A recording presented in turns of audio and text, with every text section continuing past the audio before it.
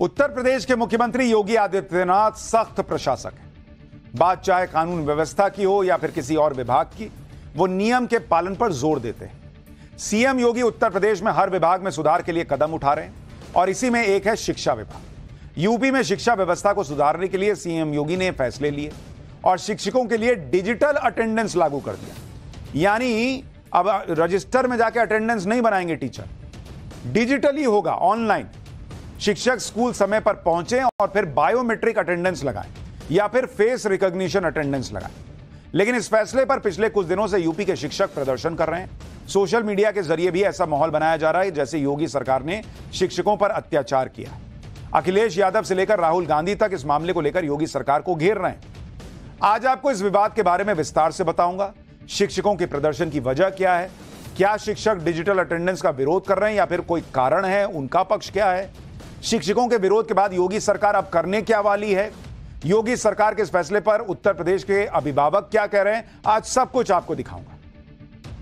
वैसे तो शिक्षा और शिक्षकों के वो, को विवाद से दूर ही रहना चाहिए। और अगर शिक्षक विरोध प्रदर्शन कर रहे हैं तो उनका कुछ तो पक्ष होगा। और इसलिए वो पक्ष आपको जानना चाहिए। दरअसल ऑनलाइन अटेंडेंस के मुद्दे से शिक्षकों की पुरानी मांगे फिर से चर्चा में आ गई। शिक्षकों की डिमांड आपको बताऊँगा, लेकिन पहले शिक्षकों के विरोध की तस्वीर देखिए। वाराणसी में प्राथमिक स्कूलों के शिक्षकों ने ऑनलाइन अटेंडेंस के फैसले के विरोध में काली पट्टी बांधकर विरोध प्रदर्शन किया। शिक्षक साफ़ कह रहे हैं कि वो ऑनलाइन अटेंडेंस के विरोध में नहीं है। सरकार के इस फैसले से कोई दिक्कत नहीं है, लेकिन ऑनलाइन अटेंडेंस की प्रक्रिया में थोड़ी राहत दी जाए। साथ ही शिक्षकों की जो पुरानी डिमांड है, वो भी पूरी की। एक बार शिक्षकों को सुनिए, फिर दिखाता हूँ कि कैसे पूरे यूपी में शिक्षक इस फैसले का विरोध कर रहे हैं।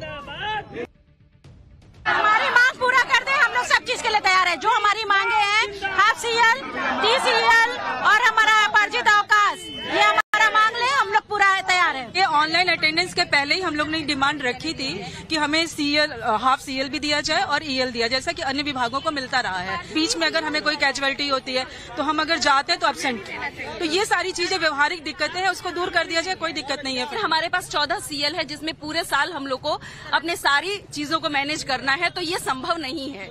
ये किसी कर्मचारी के लिए संभव नहीं है। पौने आठ से आठ के बीच में अटेंडेंस लगनी है तो वो पौने आठ से आठ के बीच में ऐप चलेगा ही नहीं वो जाम हो जाएगा या बैठ जाएगा। लगाया जाए लेकिन उसके साथ कुछ हमारी शर्तें हैं उनको मानते हुए जैसे कि तीस ईएल की हमारी मांग है जैसे किसी आपदा की स्थिति में हम लोग अपनी ईएल ले सकें अपनी हाफ़ डे सीएल ले सकें तो ये सारी मांगों के साथ कुछ समय की छूट दी जाए जैसे एक आध दिन आ, किसी के साथ कोई समस्या हो जाए तो तुरंत अब्सेंट करने का ऑप्शन ना हो वहाँ पे। देखिए शिक्षक कह रहे हैं कि हमको ऑनलाइन अटेंडेंस से दिक्कत नहीं है। लेकिन जो दिक्कतें आ रही हैं वो भी तो देखिएगा ना बॉस कि हमको आप कह रहे हैं कि अटेंडेंस लगाओ उसी वक्त जाम हो जा रहा है देखिए ऑनलाइन अटेंडेंस ने यूपी के प्राइमरी शिक्षकों को एकजुट होने का मौका दिया। योगी सरकार की नीयत और उसके फैसले से शिक्षकों को कोई दिक्कत नहीं है। लेकिन शिक्षकों का कहना है कि वो सरकारी शिक्षक कहे जाते हैं, लेकिन जो सुविधाएँ अन्य विभाग के कर्मचारियों को मिलती हैं, वो सुविधाएँ इन शिक्षकों को तो मिल नहीं रही। गाजियाबाद की तस्वीर देखिए, जहाँ कलेक्ट्रेट के सामने शिक्षकों ने काली पट्टी बांधकर विरोध प्रदर्शन किया। जौनपुर में भी शिक्षकों ने इस फैसले के विरोध में प्रदर्शन किया।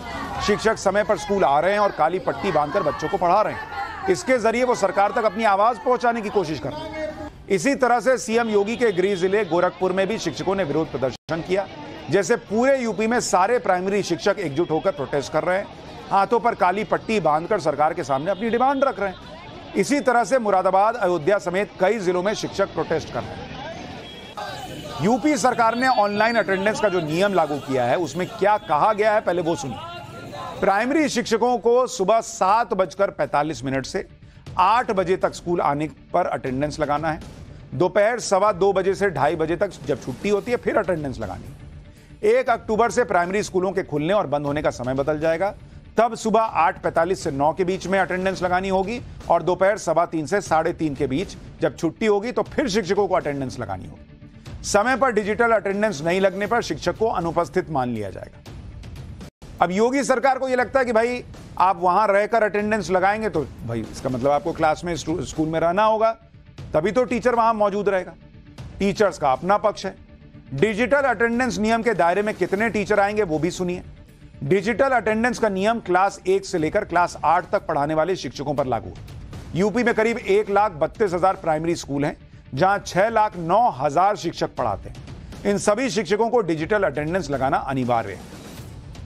योगी सरकार ने यह नियम 8 जुलाई से लागू कर दिया, जिसके बाद शिक्षकों ने इसका विरोध शुरू किया, जो अभी भी जारी है। शिक्षकों को ऑनलाइन अटेंडेंस से क्या दिक्कत है, वो भी आपको जानना चाहिए। डिजिटल अटेंडेंस लगाने के लिए शिक्षकों को प्रेरणा ऐप खोलना पड़ता है, एक ऐप है, जिसका नाम है प्रेरणा। तो वो खोलिए और उससे, उसमें अटेंडेंस लगाइए। प्रेरणा ऐप खुलने में बहुत समय लेता है, ये टीचर कह रहे हैं। तब तक अटेंडेंस का समय ही निकल जाता है, क्योंकि अटेंडेंस का समय ही पंद्रह मिनट है। कि भाई आठ पैंतालीस से नौ के बीच लगाइए, या थोड़ा पहले स्कूल है तो सात पैंतालीस से आठ के बीच में लगाइए।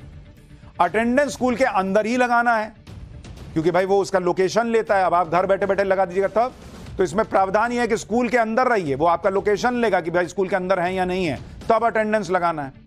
तो टीचर कह रहे हैं कि कई बार नेटवर्क नहीं आता है वहाँ पे स्कूल के अंदर, दिक्कत है, तब क्या करें? प्रेरणा ऐप पर लोकेशन की दिक्कत भी आती है, कई बार लोकेशन ट्रेस ही नहीं कर पाता। अब मान लीजिए आप पहुँच गए आप समय से पहुँचे, लेकिन आप लगा रहे हैं ऐप में आपका लोकेशन ही नहीं ले रहा, फिर क्या कीजिएगा? कई स्कूलों तक पहुँचने के लिए ट्रांसपोर्ट की सुविधा ही नहीं है। कई स्कूलों में बिजली की दिक्कत है, जहाँ डिजिटल अटेंडेंस लगाना मुश्किल होता है। तो शिक्षक कह रहे हैं कि हम लगा देंगे डिजिटल अटेंडेंस लेकिन यह सब दिक्कत भी तो है। और इस इसको आपको प्रैक्टिकली देखना होगा। ये समस्याएँ अगर आप देखिएगा प्रैक्टिकली तो शिक्षक सही कह रहे हैं कि भाई, कुछ दिक्कत है तो वो प्रदर्शन कर रहे हैं, हंगामा कर रहे हैं कि भाई, आप मेरा दिक्कत आपके ऐप में है, आपके सिस्टम में और आप मेरा पैसा काट लीजिएगा, मेरा अटेंडेंस काट लीजिएगा। इसलिए सरकार को भी डिजिटल अटेंडेंस से जुड़ी इन समस्याओं को दूर करना चाहिए। हालाँकि डिजिटल अटेंडेंस से यूपी में छात्रों के माता पिता काफ़ी संतुष्ट हैं। अभिभावकों का कहना है कि समय पर स्कूल पहुँचने और अटेंडेंस लगाने में शिक्षकों को क्या परेशानी है? सुनिए अभिभावकों का पक्ष फिर आपको बताऊँगा कि शिक्षकों की और डिमांड क्या है। सही बात अटेंडेंस की तो अटेंडेंस के लिए भाई अगर जब हम आते ही हैं स्कूल आते हैं तो हम जैसे हाजिरी दे रहे हैं अगर हमने बायोमेट्रिक की जगह अगर हमने फेस हाजिरी दी तो उसमें मुझे नहीं लगता कि कहीं से कोई दिक्कत आनी चाहिए। नौकरी तो नौकरी है किसी विभाग की हो आपको करनी ही पड़ेगी। आप बहुत दिनों तक उससे भाग नहीं सकते चाहे किसी विभाग के लोग हों। तो इनको अपने उच्च अधिकारियों से वार्ता करनी चाहिए न कि धरना प्रदर्शन करना चाहिए। तो अच्छी बात है। उपस्थिति सबकी हाजिरी होगी। पता चलेगा कौन आ रहा है कौन नहीं जा रहा। है उसमें लोग हालाँकि लोग कह रहे हैं कि अरे पहुँचने में लेट हो जाए ये अजा हो जाए। अरे तो ये चीज़ें तो महीने में एक दो बार होंगी ना। तीसों दिन तो होंगी नहीं। तो सरकार सरकार का जजमेंट सही है सर। ऐसा तो होना चाहिए। अगर सरकार ये कह रही है कि समय पे आइए। समय पे अपनी सैलरी लीजिए समय बच्चों को पढ़ाइए बच्चों पे ध्यान दीजिए ये तो सरकार का नियम बहुत अच्छा है। ये बहुत ही सराहनीय कदम है। हम ये समझते हैं कि अगर अध्यापक का अटेंडेंस ऑनलाइन अगर हो जाता है यानी जो पेरेंट्स हैं अभिभावक हैं उनको लग रहा है ठीक है। यूपी के प्राइमरी शिक्षक ये भी कह रहे हैं कि वो ऑनलाइन अटेंडेंस के विरोध में नहीं है। वो अपनी डिमांड्स को लेकर प्रोटेस्ट कर रहे हैं। शिक्षकों की डिमांड क्या है वो भी सुनिए। पहली डिमांड है कि शिक्षकों को साल में 30 ईएल यानी इमरजेंसी लीव दी जाए। दूसरी डिमांड है कि एक साल में 15 हाफ़ सीएल यानी कैजुअल लीव दी जाए। तीसरी डिमांड है कि कैशलेस मेडिकल सुविधा दी जाए। चौथी डिमांड, पढ़ाने के अलावा किसी अन्य ड्यूटी में न लगाया जाए। पांचवी डिमांड है कि महीने में चार दिन लेट होने पर एक दिन का वेतन काटा जाए। छठी डिमांड है कि डिजिटल अटेंडेंस का नियम पहले अधिकारियों पर लागू किया जाए। यूपी के प्राइमरी शिक्षक अपनी मांगों को लेकर प्रोटेस्ट कर रहे हैं और उनकी आवाज़ सरकार तक भी पहुँच रही है। लेकिन इस मामले पर राजनीति भी शुरू हो गई। समाजवादी पार्टी अध्यक्ष अखिलेश यादव ने शिक्षकों के प्रोटेस्ट के समर्थन में सोशल मीडिया पर पोस्ट किया और लिखा कि कोई शिक्षक देर से स्कूल नहीं पहुँचना चाहता। लेकिन कहीं सार्वजनिक परिवहन देर से चलना इसकी कारण, इसका कारण बनता है। कहीं रेल का बंद फाटक और कहीं घर से स्कूल के बीच की पचासों किलोमीटर की दूरी। क्योंकि शिक्षकों के पास स्कूल के पास रहने के लिए न तो सरकारी आवास होते हैं, न दूरस्थ इलाकों में किराए पर घर उपलब्ध होते हैं। बिना व्यवहारिक समस्याओं का समाधान किए, बिना डिजिटल अटेंडेंस बिना मतलब उसको हटाए, उसको सॉल्व किए डिजिटल अटेंडेंस संभव नहीं। समाजवादी पार्टी का कहना है कि अगर डिजिटल अटेंडेंस लगानी है तो इसे मंत्रियों पर लागू करें, अधिकारियों पर भी लागू करें। अखिलेश यादव के साथ साथ राहुल गांधी ने भी डिजिटल अटेंडेंस का विरोध किया है। राहुल गांधी कह रहे हैं कि सरकार को शिक्षकों की पुरानी मांगों को सुनना चाहिए ऑनलाइन अटेंडेंस से जुड़ी आशंकाओं को दूर किया जाना चाहिए। शिक्षकों पर ऑनलाइन अटेंडेंस थोपना सही नहीं।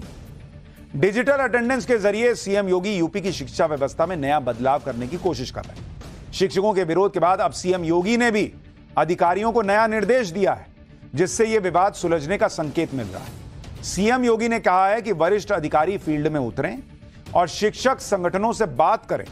शिक्षकों पर सख्ती बरतने से पहले सभी को डिजिटल अटेंडेंस पर राज़ी करने की कोशिश करें। शिक्षकों से बात करके डिजिटल अटेंडेंस के सिस्टम को सरल बनाया जाएगा शिक्षा विभाग के अधिकारी सुबह साढ़े सात से साढ़े दस बजे तक स्कूलों में जाएँगे। शिक्षकों से बात करके डिजिटल अटेंडेंस पर समस्याएँ सुनेंगे और उसे दूर करेंगे। अब यही सीएम योगी की पहचान है कि वो समस्याओं को निपटाने में विश्वास रखते हैं, खत्म करने में विश्वास रखते हैं और अच्छी बात यह है कि वो शिक्षकों का पक्ष देख रहे हैं और अधिकारियों से कह रहे हैं कि जाओ ना भाई, ज़मीन पे देखो उनको, क्या दिक्कत है उनसे बात करो, तभी ना सोल्यूशन मिलेगा। तो अधिकारियों को भी कई बार समझना चाहिए। क्या है? सीएम योगी अच्छी चीज़ सोच रहे हैं, शिक्षा व्यवस्था सुधरे। शिक्षक अच्छा पढ़ाना चाह रहे हैं, उनको दिक्कत आ रही है ऐप की और दूसरी चीज़ों की।